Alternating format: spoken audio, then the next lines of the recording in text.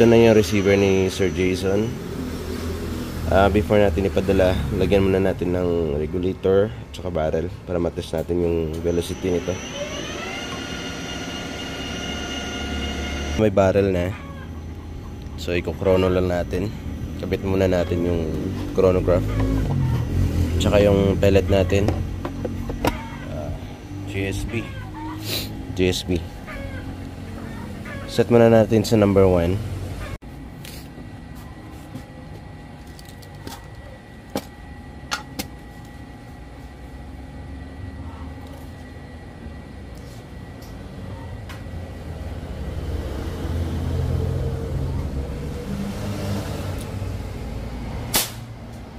Nine hundred sixteen.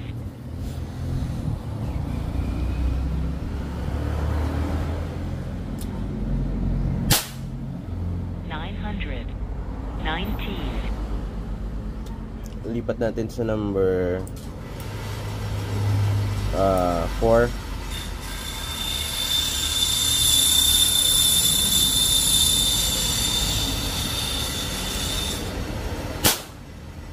929.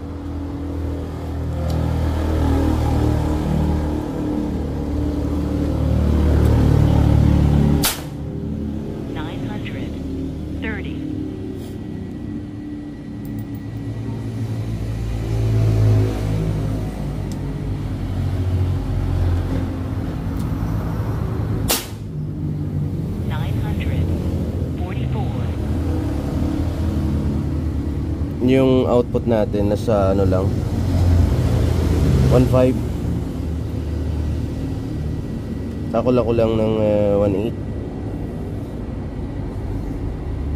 oh 1.7 or 1.6 lang.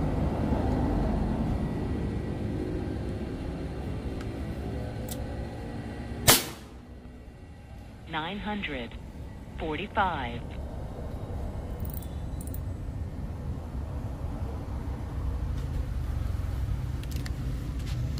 Meron tayo ditong 18 na units ng side lever.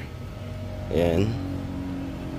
So yung magiging kalalabasan nito ito yung under rail sa ilalim. Yung kalalabasan nito ito yung magiging tsura nya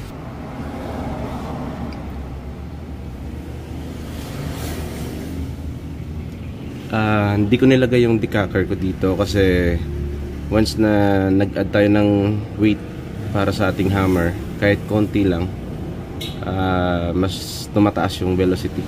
Kaya hindi ko yung ano yung sa akin hindi ko kinabitan ng decacker. Pero pwede naman sa mga order natin pag gusto nyong may decacker pwede nating lagyan. Ito may power wheel dito sa kabila. So lahat ng mga receiver na available ngayon merong power wheel na yun. Eto na silang lahat.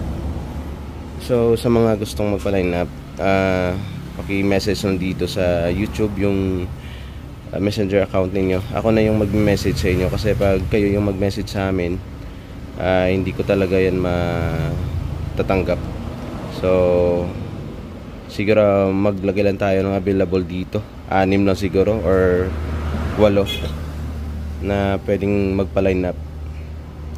So, message lang dito sa ano, sa YouTube channel natin. Comment lang kayo dito sa ano sa comment section kung ano yung messenger account nyo. Ako na yung magme-message sa inyo.